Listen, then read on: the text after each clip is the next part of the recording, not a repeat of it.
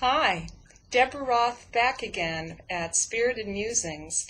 Delighted to be here with you as we move past the summer solstice and about to come up to the Cancer new moon. Always a very exciting one for me because I am a Cancer. My birthday is actually Saturday, the 28th, June 28th. The Cancer new moon is on June 27th this year. So very auspicious. If you ever have a birthday that falls right on or certainly within a day or so of the full moon or the new moon, it's something to take an extra look at. So welcome, welcome. And definitely, I want to say before I forget, we are doing a beautiful new moon circle tonight in New York City. If you're in the area, our theme, and it's what I'm going to talk a little bit about today, is honoring the mother, personal and archetypal.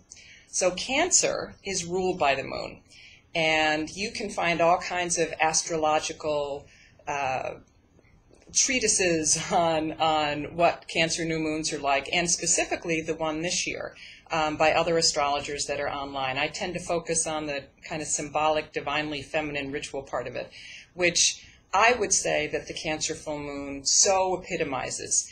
Uh, cancer is is the the the sign uh, because it's directly ruled by the moon of the divine feminine and, and of deeply feminine, emotional, intuitive energy. So it's really a day, whether you're a Cancer or not, to the, in this time period is is just a really wonderful time to to check in with yourself and see how you are nurturing yourself. How are you mothering yourself? How are you honoring the mothering instinct? And I'm always really careful when I when I talk about the Cancer new moon representing the mother, the mother archetype, that it doesn't necessarily mean that you're a biological mother or even that you're a female. But the idea is that it is that it embodies Cancer energy embodies the the creatrix, creator energy, which means anything that you have uh, given birth to. It could be a book, an idea, uh, a business, all kinds of things. There are so, you know, hundreds of millions of people in the world who are not biological mothers who have still given birth and nurtured people or projects to life. So that's what we're. That's when I say honoring the mother, personal and archetypal. Certainly, it's it's a time to reflect on our own relationship um, as mothers, as biological mothers, but also as as daughters um, or as looking at our own mothers. If you didn't have the best relationship with your mother, it's a time to reflect on who are those people in your life who were nurturing for you. They they were they mothered you. They they helped give birth to the person that you are today. I, in fact, today am wearing some earrings that my mother, who I have a wonderful relationship with, thank the goddess, um, she gave me for my birthday a week or so ago, and actually a dress that she and I go away every summer, and we've done this.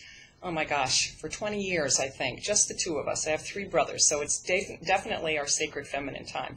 And when we travel, sometimes she'll buy, it's a, you can't see it, but it's a fun, funky dress that I'll wear to the circle tonight.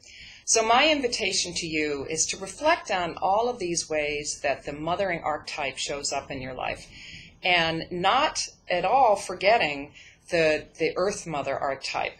When, when I do these circles, I bring my little glass earth ball, and that's always on the altar. Sometimes, can't decide if I want to bring it with me, but I have a big, wonderful, um, very cuddly, very appropriately cancer nurturing um, earth ball, squishy ball that is really yummy to cuddle with and, and symbolically nurture and hug and make a commitment to take care of your own mother.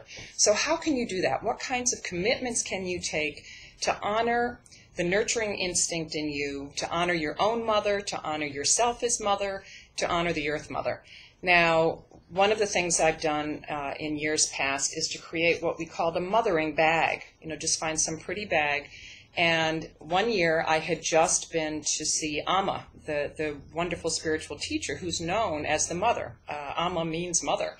And I had dried um, uh, flowers that were blessed by her, a little cowrie shell. If you know cowries, uh, got a big one here actually.